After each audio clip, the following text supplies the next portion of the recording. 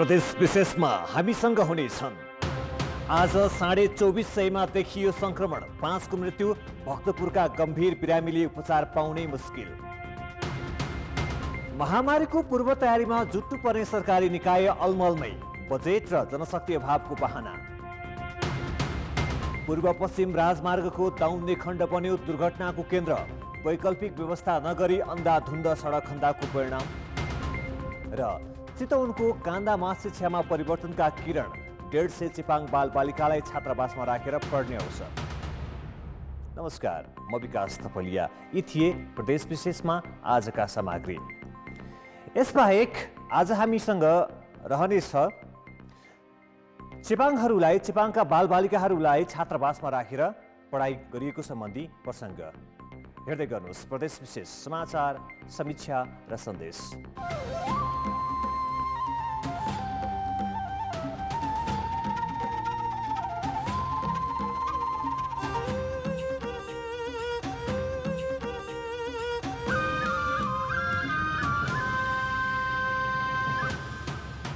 प्रदेश विशेष presented by Asian paints पछिल्लो चौबिस घन्टामा नेपालमा पच्चिस सय उनासाठी जनामा कोरोना सङ्क्रमण पुष्टि भएको छ। नौ हजार छ सय चौसठी जनाको परीक्षण गर्दा सङ्क्रमितको सङ्ख्या पच्चिस सय नाघेको हो। आठ हजार सात सय अन्ठानब्बे पिसिआर र आठ सय छैसठीजनाको एन्टिजेन विधिबाट परीक्षण भएको थियो। त्यसमध्ये पिसिआर परीक्षणमा दुई हजार चार सय उनपचास तथा एन्टिजेनबाट एक सय दसजनामा सङ्क्रमण पुष्टि भएको स्वास्थ्य मन्त्रालयले जनाएको छ। यो सँगै सङ्क्रमणको दर अठाइस प्रतिशत पुगेको छ। पछिल्लो समय सङ्क्रमित हुनेमा सबैभन्दा बढी बिसदेखि चालिस वर्ष उमेर समूहका छन्।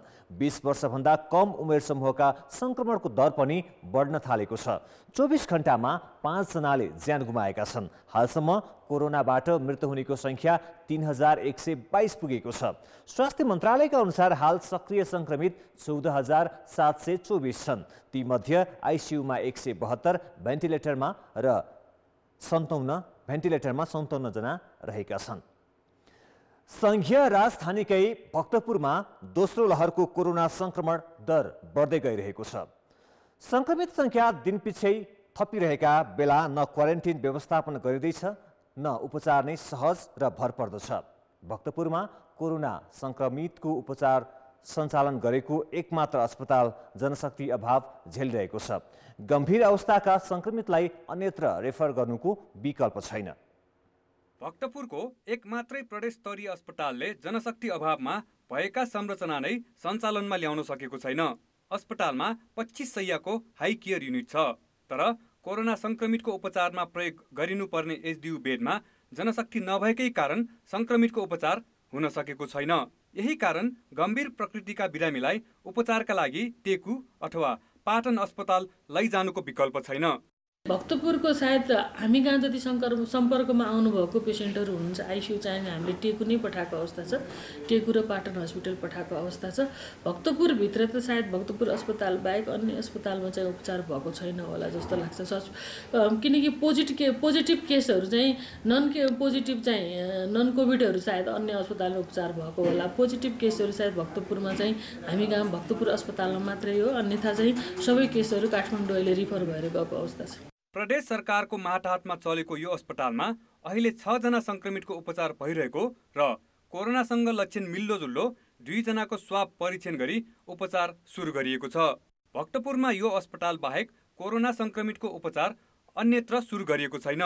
तयारी भएको एचडियु पच्चिस बेडको एचडियु तयार छ त्यसको लागि मेन पावर छैन। मेन पावर यदि हामी कहाँ उपलब्ध हुने हो भने प्रदेश मन्त्रालयमा कुरा उठेको छ उहाँहरूले चाहिँ मेन पावरको व्यवस्था गर्ने गरेर पठाउँछु भन्ने चाहिँ प्रतिबद्धता आएको छ। यदि मेन पावर आउने बित्तिकै हामीले पैँतिस बेड एचडियु पाँच बेड छ बेड आइसियु र एक्काइस बेड चाहिँ non covid covid ICU covid ward चाहिँ हामीले सञ्चालन गर्न सक्छौँ। यही अस्पतालमा पनि अन्य बिरामीको पनि उपचार भइरहेको छ। छ सय आइसियु र पन्ध्र सय एचडियुमा अन्य बिरामीको उपचार जारी रहेकैले पनि कोरोनाका गम्भीर बिरामीको उपचारमा समस्या छ। भक्तपुरका सङ्क्रमित मध्ये भक्तपुरमा छजनाको सहित टेकु र पातन गरी एक्काइसजनाको उपचार भइरहेको छ भने तिन सय त्रिहत्तर होम क्वारेन्टिनमा छन्। अहिले भक्तपुरमा कोरोना सङ्क्रमित दस हजार एक सय उनापचास पुगेको र एक सय अठाइसजनाको मृत्यु भइसकेको स्वास्थ्य कार्यालय भक्तपुरले जनाएको छ। कान्तिपुर समाचारका लागि सुन्दर शिल्पकार भक्तपुर। भारतमा कोरोना भाइरसको सङ्क्रमण बढेपछि पूर्वी नाका झापाको काकडभित्तामा नेपाल प्रवेश गर्ने मानिसको भिड लागेको छ। नेपाल प्रवेश मात्र होइन भारत जाने मानिसको समेत नाकामा लर्को लागेको छ। भारतमा दोस्रो चरणको कोरोना भाइरसको सङ्क्रमण बढेपछि नेपाल भित्रनेको सङ्ख्या वात्तै बढेको हो। दैनिक तिन हजारको हाराहारीमा मानिस नेपाल भित्रने गरेका छन्। उनीहरूको ज्वरो जाँच गरिन्छ र नाम तथा सम्पर्क नम्बर लेखिन्छ। त्यसपछि शङ्कास्पद मानिसको एन्टिजेन परीक्षण गरिन्छ। परीक्षणमा नेगेटिभ आए गन्तव्यमा जान दिइन्छ भने पोजिटिभ आएमा एम्बुलेन्समा राखेर सम्बन्धित गाउँपालिकामा पठाइन्छ। डाटाको टाढाको गाउँपालिकामा बिरामी पठाउन समस्या भएको स्वास्थ्यकर्मी बताउँछन्। मेचीनगर गाउँपालिकाभित्र दैनिक पाँच सयभन्दा बढी भारतीय मजदुर ज्यालादारी गर्न आउने गरेका छन्। नाकामा दैनिक हुने आवत जावत रोक्नुपर्ने आवश्यकता बढेको छ। नाकामा नगरपालिकाले बिरामीको लागि होल्डिङ सेन्टर र आइसोलेसन निर्माण गर्ने भने पनि अझै निर्माण भएको छैन। दैनिक रूपमा एन्टिजेन परीक्षणबाट पोजिटिभ देखिएका बिरामी सिधै सम्बन्धित गाउँपालिका पठाउँदा भाइरसको सङ्क्रमण छिटो फैलिने जोखिम बढेको छ। प्रदेश विशेष प्रेजेन्टेड बाई एसियन पेन्ट्स ब्रेकपछि प्रदेश विशेषमा पुनः स्वागत छ। दोस्रो लहरको कोरोना सङ्क्रमणको जोखिम थपिँदै गएका बेला समुदाय स्तरसम्मै सावधानी र नियन्त्रणको प्रयास हुनुपर्ने हो। तर सरकारी निकाय नै औपचारिकता निभाउने भन्दा अरू तयारीमा जुटेको देखिँदैन। यसको उदाहरण रुकुम पश्चिमलाई हेरे पुग्छ गत वर्ष यति बेला सिङ्गो देश बन्दाबन्दीमा थियो। कोरोना भाइरस सङ्क्रमणको जोखिम कम गर्न हर तरहले काम पनि भइरहेको थियो। अहिले फेरि दोस्रो लहरको त्रास छ। तर जोखिमसँग जुझ्न तयारीमा जुट्नुपर्ने सरकारी निकाय आफै अलमलमा छन्।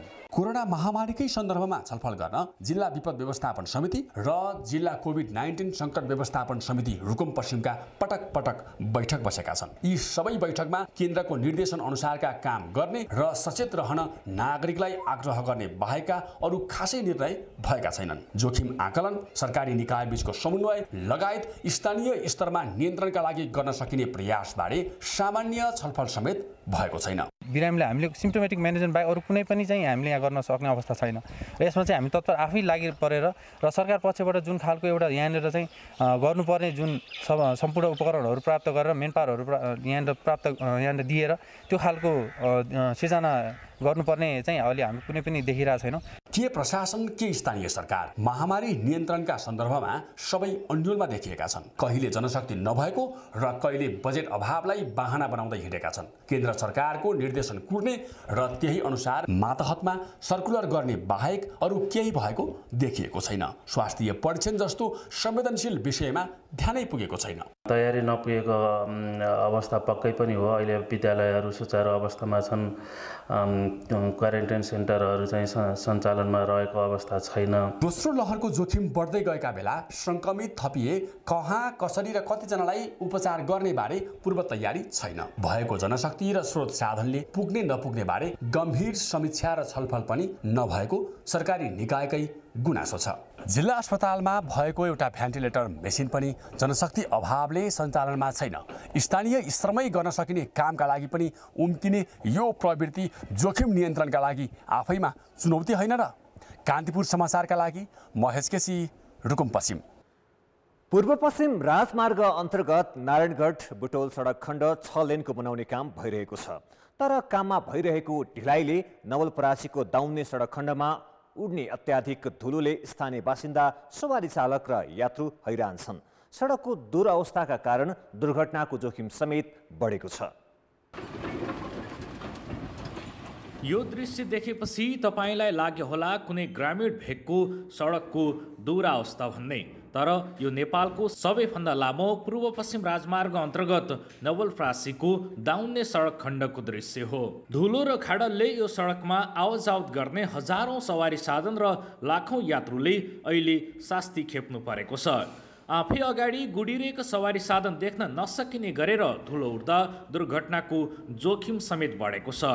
शनिबार साँझ धुलो उडेर अगाडिको सडक नदेखिएपछि ना पाँच ख सात शून्य शून्य शून्य नम्बरको यात्रुवाहक बस दाउन्ने डाँडाको भिरबाट खस्दा तिनजना यात्रुले ज्यान गुमाउनु पर्यो। यो त प्रतिनिधि घटना मात्र हो।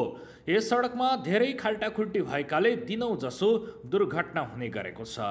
मेरो यो रुट हेरेरै थाहा हुन्छ होइन कतिको साथी छ भन्छ अब बाटो केही पनि देखिँदैन। एकदमै जोखिम ओलेर हिँड्नुपर्ने बाटो हो दाउन्ने सडक खण्डको पन्ध्र किलोमिटर मध्ये करिब दस किलोमिटर धुलोले हिँड्न सकिँदैन। मोटरसाइकल र पैदल हिँड्ने यात्रु गन्तव्यमा पुग्दा नचिनिने अवस्था छ। बुटोल नारायणगढ सडक छ लेन विस्तार हुँदैछ। यसका लागि चाइना स्टेट कम्पनीले मर्मत र नयाँ निर्माणको ठेक्का पाएको हो। तर ठेकेदार कम्पनीले विभिन्न स्थानमा माटो झिक्ने बाहनामा सडक वरपर खन्ने तर मर्मत नगर्ने प्रवृत्तिले अहिले यस्तो अवस्था आएको हो। सडक विभागले ठेकेदार कम्पनीलाई मर्मतका लागि आग्रह गरे पनि ठेकेदार कम्पनीले चासो दिएको छैन। पहिलेभन्दा धेरै हेभी गाडीहरू आउने अब लामा गाडीहरू आउने तिनीहरूले चाहिँ धकेलेर सडक बिगार्ने। यो कारणले त्यहाँ धेरै ठुला खाल्टाहरू छन्। पूर्वी र पश्चिम नवलप्रासीको दाउन्ने खण्डमा साउन महिनादेखि वैशाख पाँच गतेसम्म मात्र सवारी दुर्घटनामा पैँतिसजनाको मृत्यु भएको छ भने एक सय छत्तिसजना घाइते भएको ट्राफिक प्रहरीको तथ्याङ्कमा उल्लेख छ। जिल्ला ट्राफिक प्रहरी कार्यालय पश्चिम नवलप्रासीका प्रमुख प्रहरी निरीक्षक दिपेश बस्यालले दाउन्ने खण्डमा अत्याधिक धुलो र खाडलको कारण सवारी दुर्घटना बढेको बताए। विशेष गरेर अहिले चाहिँ धुलो र सडकको खाल्टाखुल्टी बढी गएर गर्दा एक्सिडेन्टको मात्रा चाहिँ बढ्दो छ सडक विस्तारको काम सुरु भएको दुई वर्ष हुन लाग्दा जम्मा पाँच प्रतिशत मात्र काम भएको यस सडक खण्डमा अहिलेदेखि नै मर्म समार नगर्ने हो भने केही समयमा नै सवारीका साधन सञ्चालन गर्न नसक्ने अवस्था आउने निश्चित छ। त्यसैले अस्थायी रूपमा खाडल पुर्ने र नियमित रूपमा धुलो उड्ने स्थानमा पानी हालेर समस्या समाधान गर्न आवश्यक छ। कान्तिपुर समाचारका लागि नवीन पौडेल दाउन्ने नवलफ्रासी प्रदेश विशेष presented by Asian Paints. प्रदेश विशेषमा पुनः स्वागत छ। झन्डै दस वर्ष अघि चितवनको पहाडी भेग कान्दामा जङ्गली च्याउ खाएर एकै परिवारका आठजनाको मृत्यु भयो। दुर्गम ठाउँका चेपाङ समुदाय अशिक्षाकै कारण जङ्गली च्याउको शिकार भए। यही दुःखद घटनाले चिनाएको कान्दामा अहिले शिक्षामा परिवर्तनका किरण देखिन थालेका छन्। घटना दुई हजार सडसठी सालको हो। जति बेला तत्कालीन लोथर गाविसको कान्दा गाउँका बाबुराम पर्जाको परिवारका आठजनाले जङ्गली च्याउ खाएर ज्यान गुमाए विकट पहाडी गाउँमा स्वास्थ्य सेवा र शिक्षाको अभावका कारण भोग्न परेको यस्तै पीडालाई अहिले गाउँमा भएको परिवर्तनले भने मलम लगाउने काम गरिरहेको छ। शिक्षाको सहज पहुँच बाहिर रहेको यस गाउँमा विद्यालय र पूर्वाधार स्थापनासँगै बालबालिका स्कुल जान थालेका छन्। बालबालिका होस्टेलमा बस्छन् र समयमा खानपिन समयमा विद्यालय आउने समयमा जाने गर्ने हुनाले र पढाइमा पनि समयको पनि सही सदुपयोग हुने हुँदा विद्यालयमा आउने बालबालिकाहरूको उपस्थिति धेरै नै बाक्लो छ। गाउँको कान्देश्वरी आधारभूत विद्यालयमा अहिले पाँचवटा भवन निर्माण भइसकेका छन्। सुरुवाती बेला तिन कक्षासम्म मात्रै पढाइ हुने यस विद्यालयमा भवन थपिएपछि आठ कक्षासम्म पढाइ हुन्छ। सातजनाको दरबन्दी रहेकोमा मितिरी फाउन्डेसन र लक्ष्मी प्रतिष्ठानको तर्फबाट दुई दुईजना शिक्षक शिक्षिका थप गरिएको छ। जसका कारण कान्दावासी बालबालिका मात्रै होइन नजिकैका गाउँकाले समेत पढ्न पाइरहेका छन्। होस्टेलद्वारा अहिले हामीले एकदम राम्रो पढ्न सुविधा बस्न पाएको छ। यस विद्यालयमा अहिले एक सय पैँतालिसजना चेपाङ बालबालिकाले छात्रावासमा बसेर पढ्ने अवसर पाएका छन्। बिहान स्कुल जानु अघि र स्कुल छुट्टी भएपछि बेलुका छात्रावासमै विद्यार्थीहरूलाई थप अध्यापन गराइन्छ। छात्रावासकै कारण विद्यार्थी पौष्टिक युक्त खाना पाउनुको साथै नियमित विद्यालय जान पाइरहेका छन्। कोही कोही बेलामा स्कुल नआइकन गाई बाख्रासँग पनि भोक लागेर अन्तका जडीबुटी नै भनौँ कान्न मुखहरू खोजेर खान पनि हिँड्न सक्थ्यो। अहिले पढाइ पनि बढ्दैछ। उनीहरूको हौसला पनि बढ्दैछ। कान्दावासीको दुःखका दिन अझै सकिएको त छैन। तर सरकारी तथा गैर सरकारी निकायको सहयोगमा बालबालिकालाई विद्यालयसम्म भने पुर्याउन सकिएको छ। यस्तै विभिन्न सङ्घ संस्थाले कृषि पशुपालन लगायतका क्षेत्रमा पनि लगानी गर्न थालेका छन्। यसले सीमान्तकृत चेपाङ बस्तीमा अहिले केही मात्रामा भए पनि परिवर्तनका सङ्केत देखाएको छ। कान्तिपुर समाचारका लागि राजु चौधरी कान्दा चितवन। प्रदेश विशेष आजको लागि यति नै। प्रदेश समाचारहरूको साथमा भोलि फेरि आउने नै छौँ। कान्तिपुर टेलिभिजन हेर्दै गर्नुहोला। नमस्ते।